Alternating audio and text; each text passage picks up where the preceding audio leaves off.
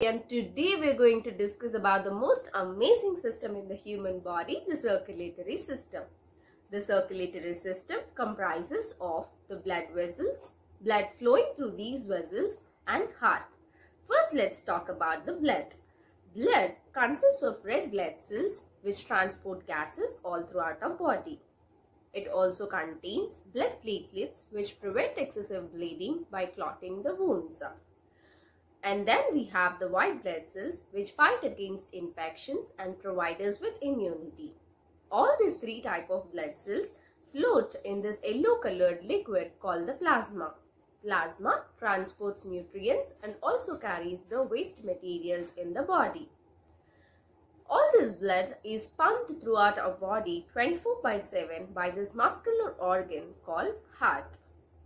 Heart is generally covered by an outer layer called pericardium which protects it from shocks. Upon removing the pericardium, we are exposed to the coronary arteries and veins. Both these arteries and veins supply heart with oxygenated and deoxygenated blood respectively. Ultimately, heart is also an organ that receive, that uh, requires blood supply, right? So, upon removing this coronary arteries and veins, we'll be exposed to the internal structure of the heart. So, first let's study the internal structure of the heart. Generally, heart is divided into four chambers. The upper two chambers are called the auricles and the lower two chambers are called as the ventricles. Auricles are generally thinner and ventricles are generally thicker. They are divided into both left and right auricles and ventricles. Both the ventricles are separated by a septum which is called as interventricular septum which prevents the mixing up of blood from both the ventricles. Now let's talk about the valves present in the heart. The right ventricle is separated, the right auricle is separated from the right ventricle through a valve called as the tricuspid valve. Similarly, the left auricle is separated from the left ventricle through a valve called bicuspid or mitral valve. Both of these valves are, are, are attached to the heart by fibers called as chordae tendineae. Chordae tendineae are attached to the heart through papillary muscles. Now let's talk about the semilunar valves. There are two types of semilunar valves. First one, the aortic valve is present in the aorta which is largest artery of the heart. And then pulmonic valve is present in the pulmonary artery which supplies blood to lungs. Now we'll talk about the openings in the heart and the conduction system of the heart. Removing all these valves, we can see the openings in the heart and now we'll talk about the conduction system of the heart which is responsible for the working of the heart. The conduction system contains main parts called Purkinje fibers which are named after the scientist who invented them. Apart from Purkinje fibers, we also have sinoatrial node which is called as the pacemaker of the heart and there the impulse generation starts and then it comes down to the atrioventricular node from which the impulse transfers to the Purkinje fibers and it contracts both the ventricles. Understood?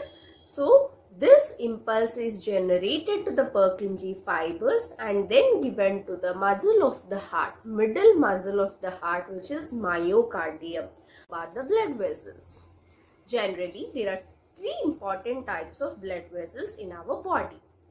The red color ones are the arteries which carry oxygenated blood from the heart to all over the body, all parts of the body. And then the veins which carry deoxygenated blood towards the heart and next the third one are the capillaries which are the smallest blood vessels in our body. All these three blood vessels ensure that the circulation happens all through the time. Now let's quickly see the parts of the heart once again so that you'll understand the working of the heart. Chambers of the heart, right auricle, left auricle, right, uh, right ventricle and left ventricle, valves, tricuspid valve between right and right auricle and ventricle, bicuspid or mitral valve between left auricle and left ventricle, and then we'll have semilunar valves known namely the aortic valve in the aorta, the pulmonic valve in the pulmonary artery. Now let's talk about the working of the heart. First, oxygenated blood enters from the lungs into the left auricle. From the left auricle, upon contraction by the opening of the mitral valve, blood falls into the left ventricle.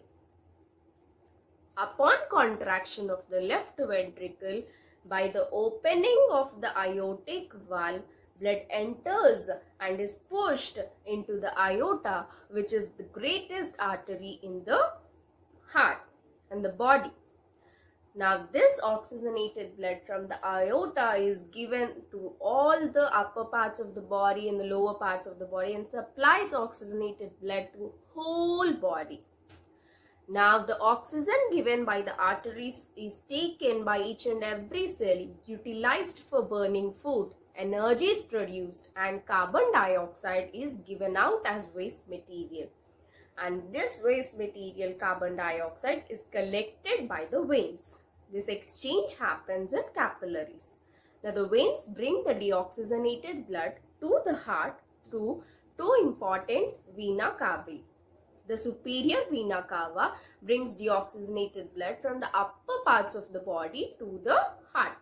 The inferior vena cava brings the oxygenated blood from the lower parts of the body and both of them fill the right atrium with deoxygenated blood. This blood by opening of the tricuspid valve enters into the right ventricle. Upon contraction of right ventricle by the opening of pulmonary veins, pulmonary valves, it enters into the pulmonic artery. The pulmonary pulmonic artery is divided into Y shape and supplies blood to both right and left lungs. Okay. Now, once the blood reaches the lungs, it gets enriched with oxygen where exchange of gases happen. And this and the oxygenated blood returns to the left auricle again and the circulation happens again and again. Thank you.